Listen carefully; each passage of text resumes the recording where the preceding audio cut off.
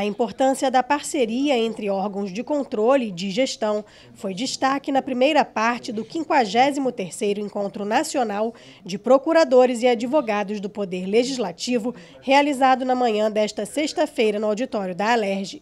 Dividido em painéis, o encontro reuniu 15 representações dos tribunais de contas estaduais e abordou o papel da advocacia pública do Poder Legislativo no controle de juridicidade e na assessoria jurídica das atividades parlamentares. No primeiro painel do dia sobre a Federação Brasileira e os poderes e limites do Poder Legislativo e dos tribunais de contas no controle externo, o procurador do Tribunal de Contas do Rio destacou que os tribunais vêm adotando uma postura mais preventiva do que repressiva e colaborando com a gestão na implementação das políticas públicas.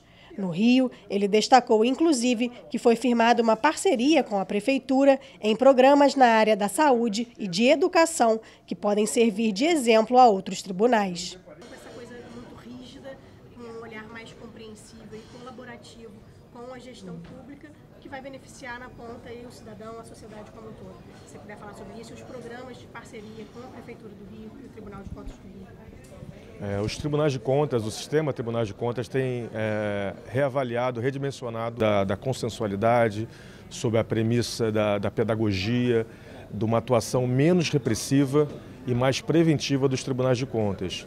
Essa atuação ela tem que ser uma ação concertada, junto com a gestão. No segundo painel, ao palestrar sobre o legislativo e o controle orçamentário da administração, o deputado Luiz Paulo destacou o papel fundamental das assembleias na execução do orçamento e no real funcionamento da máquina pública e salientou ainda a novidade adotada pelo Estado do Rio com a criação do Plano Estratégico de Desenvolvimento Econômico e Social do Estado, reforçando a importância de se planejar políticas públicas estaduais. Uma das funções mais importantes do parlamento é fazer a aprovação das, das leis orçamentárias e a fiscalização, o controle externo da administração pública.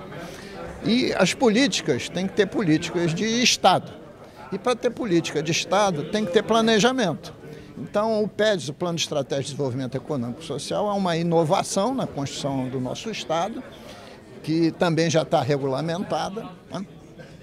E era ideal que todos os estados brasileiros também tivessem, mas ideal mesmo era que a União tivesse seu Plano de Estratégia de Desenvolvimento Econômico e Social, para que a gente soubesse quais são as políticas de Estado da União e não somente as políticas de governo. Encerrando a primeira parte do Congresso sobre os sistemas de controle da nova lei de licitações e na Lei Geral de Proteção de Dados, o procurador do Estado do Rio falou sobre a importância do controle nas licitações e do tratamento mais sistematizado que a nova legislação trouxe. A gente tem um Estado que efetivamente é um Estado contratante. Esse Estado maneja recursos públicos e isso demanda pela Constituição Federal que esse manejo seja o mais eficiente e econômico possível. Daí a importância de ter um controle. E aí o que a lei procurou fazer é, foi tentar sistematizar e racionalizar isso da melhor forma possível, trazendo é, a ideia de que você tem três linhas de defesa, os agentes de contratação, ou seja, aquelas pessoas que estão no fronte da licitação, os pregoeiros, os, os fiscais, uma segunda linha de defesa, que são os órgãos de assessoria jurídica, as advocacias públicas, e uma terceira linha de defesa que é os, os, tribunais de contas e as controladorias, notadamente a controladoria geral de cada, de cada ente federativo. E o ponto a destacar é que é preciso que essa, essa, essa, essa atuação de controle seja coordenada, seja sistematizada, para que a gente não tenha uma espécie de sobreposição em relação a cada um desses atores institucionais.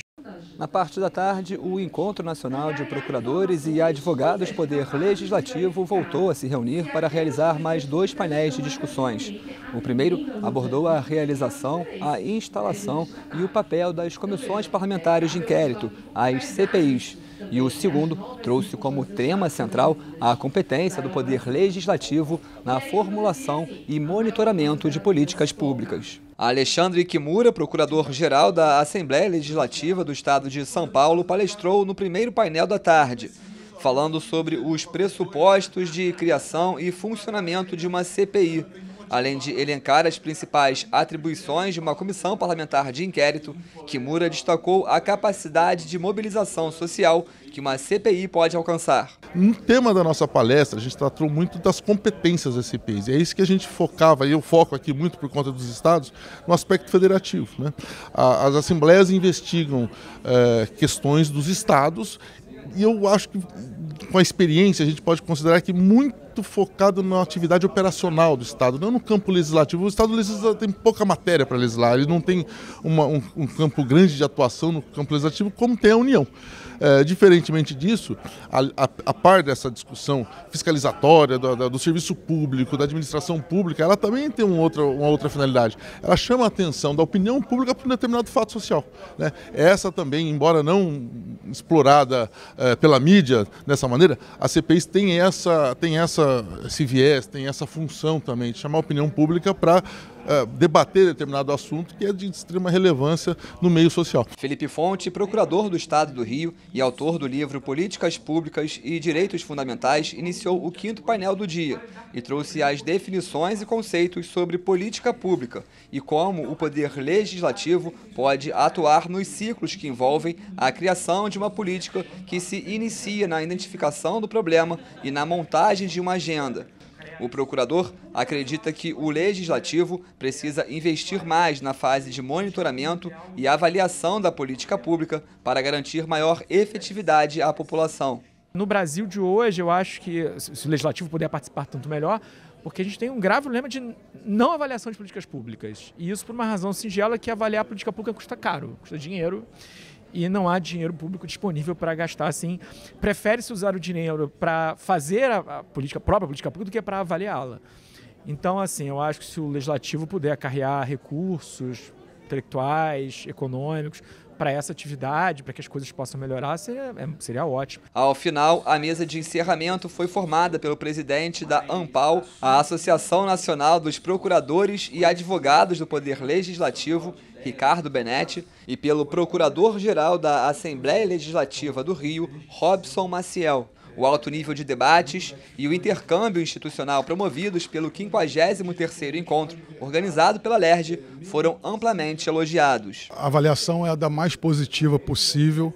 Esse é um evento idealizado há mais de um ano, uma, uma ideia que surgiu no encontro da Advocacia do Senado e hoje a gente traz pessoas do Brasil inteiro, ideias que se multiplicam, mas acima de tudo é, movimentos que, com certeza, é, se tornarão pontos efetivos não só no Rio de Janeiro, mas em todo o país. É uma ferramenta de intercâmbio institucional entre os estados. Aqui temos 15 estados da federação representando a nossa entidade nacional nesse intercâmbio de ideias, nessa troca de conhecimento, levando ideias para as outras assembleias, para o Congresso Nacional. E o evento foi, sem sombra de dúvidas, um sucesso. Esperamos outras oportunidades. A LERJ está de parabéns pela recepção e pela acolhida.